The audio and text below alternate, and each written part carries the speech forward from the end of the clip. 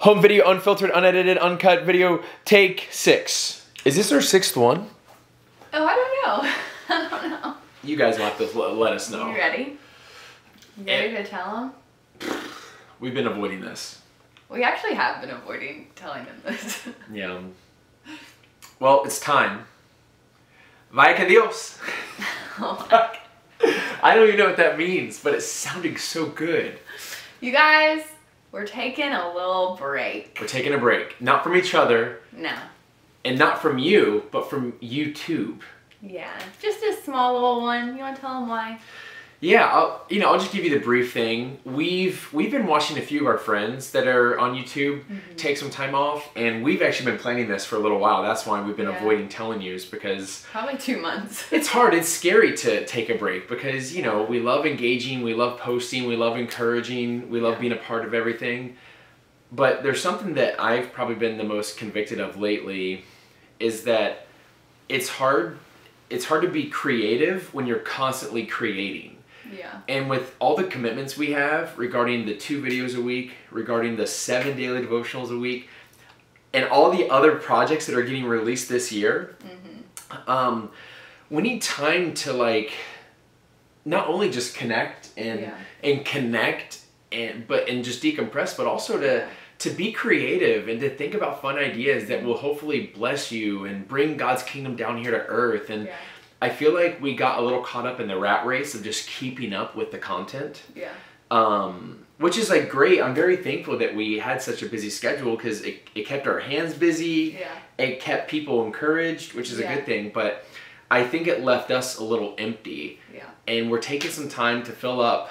We're taking some time to to rejuvenate and to get some fresh ideas because we and I don't forgive me for saying this. I never want to sound like a pompous, braggy person. Like, listen, I'm not like everything that Tor and I want to do online is for you all. Trust me when I say that. Everything that we want to do online is for you all. But like, I want to do so much more than this, right? Like, I want to, I want this to be so much more. Like with what the Masters fam is currently doing and how people are connecting and meeting each other and like our vision for like potential meetups and retreats and books and all these other things I see is so much more Yeah. and we just need some time to like build out these ideas and pray about them and ask God for discernment to lead us into those if it is his will if it's not then of course shut that door load Yeah. Well, we always say, and y'all even say this, that you can't pour from an empty cup. And we actually just got back from the Passion Conference, which was absolutely incredible, but it was also really crazy because there were so many spiritual attacks, even in just like getting us in the door of Mhm. passion for me in particular. I feel like I was having probably like some of the most severe like anxiety emotional attacks Yeah. that I had ever had. I was like, babe, I literally cannot control my emotions right now. And I just felt like I was spiraling, even to the point where our manager, Andrew, who was there with us at Passion, had this dream of all of these tornadoes swarming. And when he was telling me about it, I was like, I feel like that was me last night emotionally, where I just felt like my mind was going down all of these crazy spirals and I was getting so caught up in worry and anxiety. And when you're in that place, what's convicting is it was showing how much I wasn't trusting God. And I think that at Passion, uh, one of the speakers, Ben Stuart, he was talking about how the root and the like weed that worry is, it can literally choke out the fruit in your life. And I felt so convicted because I was like, everything that we want to do is share the gospel and walk in the fruits of the Spirit. And if I'm bogged down by worry or anxiety, it's literally gonna choke Mhm. that fruit out. And then someone else said, so I think it might have still been Vince Stewart who said this, but he said, the world is not going to be impressed if you preach the Prince of Peace, but you are living inside of a world of stress. Yeah. And I was like, wow. That's super convicting. It was really convicting, and I just felt like, okay, Hmm. there are some things I really need to just give back to God and surrender and trust him enough to take some time off and Yep. just be with him and listen because there Mhm. really is an attack on our attention and if the enemy can steal your attention and you are so distracted by so many things then you're not going to have the ability to focus on the thing that god's telling you to do Yeah. um, and have that clarity. And it's like you're gonna see the promise, you can taste the promise, but you're gonna be so Mhm. distracted that like you're never actually gonna reach the promised land.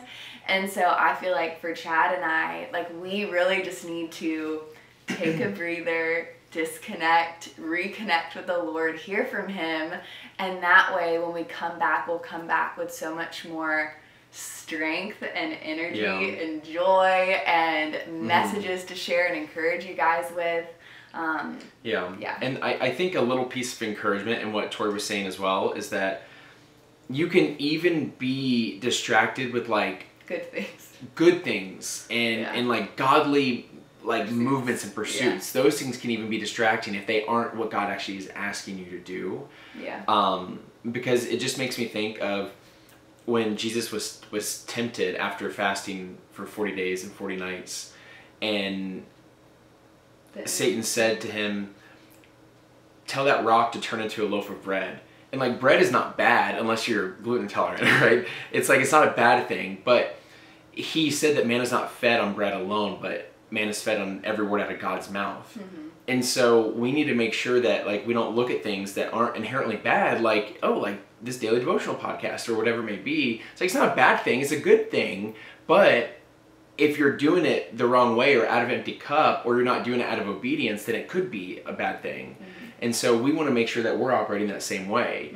And so, but all this is honestly like really good. Yeah. Like I feel good even though I can't wait to like turn the camera off and turn the phone off and everything. Yeah. I feel really excited about this time. Yeah. I feel um I feel uh expectant, you know? Um and I mean, I'm also just excited, you know, for a trip. So there's that too. He said we're both so excited. Um, we we've needed it, and It's been how long? Since we've taken a break Yeah, I mean like like like a true vacation, like an actual vacation. where we didn't work, Yes. like didn't work at all on the trip. Yes. Probably our honeymoon. Hmm. It's almost been three years. It'll almost have been three years. Yeah. Yeah. Because we've taken vacations, but I feel like we'll like vlog them or we'll work while Mhm. we're there. And that's Yeah. the benefit of doing what we do is hey, Mhm. we can take a trip and we can take our work with us. So we're not saying that we're not very blessed in that. Mhm. But when your job is social media, it's really hard to turn work off. Yeah. And so I think for us, it's gonna take some discipline to like genuinely just turn it all off. And just so Mm-hmm. y'all know, like we are pre-recording the daily devotional podcast because we want you guys to still have those every single day. And so the only like we're taking YouTube off, so there won't be any videos next week, and maybe not week after. the week after. We're not really sure. We'll keep y'all updated on that, but Yeah. we're just gonna try to be obedient inside of that. Yeah. But what's cool about you guys, and just so you know, we got to meet so many of y'all at Passion, and it was the coolest experience ever. Like now that I'm looking at the screen, it's like I can see Mhm, all I your can- yeah. faces, and that's just so special to us. And I think I said that to like all it of you when I saw you. mind blowing, is what it was. It was absolutely mind blowing. Yeah. And I feel like because we started YouTube in such a weird time in the world, we never really got to do like meetups and different things like that. And so, you know, we just turn on the camera and it's like we kind of see ourselves and we have an idea yeah. of who maybe hopefully we're talking to, but actually seeing your faces and It changed. Knowing- It changed it for me. yeah, it just gave us like a entirely deeper sense of why Mm. Behind Yeah. everything. We And I do. think that's what gets me excited is that this doesn't feel, um, and this is not like, there's no hidden messages in this and all, but it doesn't feel like we're just debating what we're doing in life. This feels like a, this is like, I don't want to say the calm before the storm, but this feels like, like, let's rest right now because I feel like God's really about to do something crazy Mhm. in a good way, like a good thing. And I'm getting so excited for it. And I felt so excited with so many ideas after after meeting you all in person Yeah. that it just made it so much more real. it made it so much more real to like literally pray for someone Yeah. like in person and and and hug people and say hello and hear your stories and hear your voices that was super exciting for me i s- we haven't even had a chance to really even decompress from it because we've just been boom boom boom boom boom boom everywhere We literally got back last night and we leave in the morning. So yeah we're we're like, what is even happening yeah right now? but i'm glad we booked the trip it just Oh, yeah. we probably wish we had a little bit more time to prepare to leave yeah. Um, but yeah, so anyways, I, I just I'm really excited about this time because I, I honestly I'm not gonna say I can't wait to get back, but I can't wait to get back Yeah. because I know that the stuff that we're gonna be bringing with us to do in the future Yeah. is it's gonna change so many things. We're like hopefully expectant because I feel like when you take that time to be still in the presence of the Mhm. Lord, He always meets you there. And so I'm like excited not only to process everything the Lord downloaded to us at Passion, but to also like hear God specifically for you guys and be able to like truly press into that. Like something that I really want to grow in this year is intercession and prayer. I don't know how to describe when I say that. I don't know. Tori's crazy, yo. Oh gosh.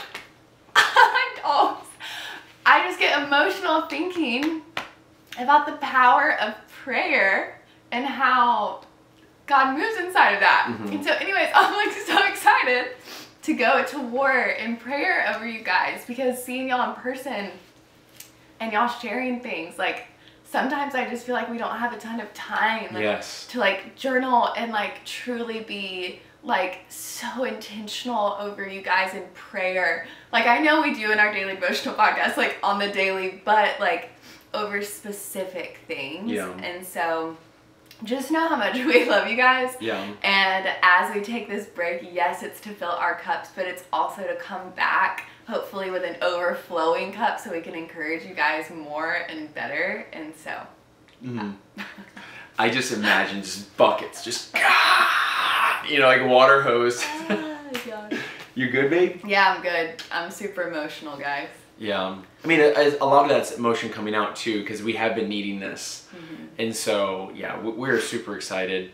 Um, can't wait to share with you about how the trip goes and how the downtime goes. Yeah. Um, and w- we will probably integrate this more frequently in our schedule. That's one of the cool things about learning is that looking back at it, we're like, wow, we should have taken quite a few more breaks in there. Even though it would have cost us more money and probably not set us, we wouldn't be set up financially.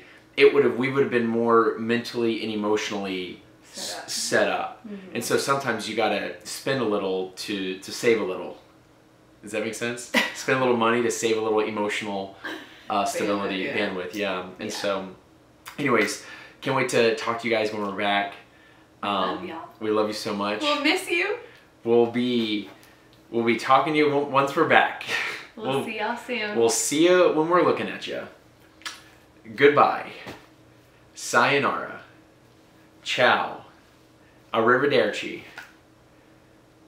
Tschüss. Let's go on vacation. Let's go on vacation. How do you say that in Spanish? I have no idea. We gotta get our Babbel. Love y'all. Do do do do do do do do do do do do. Did I do it?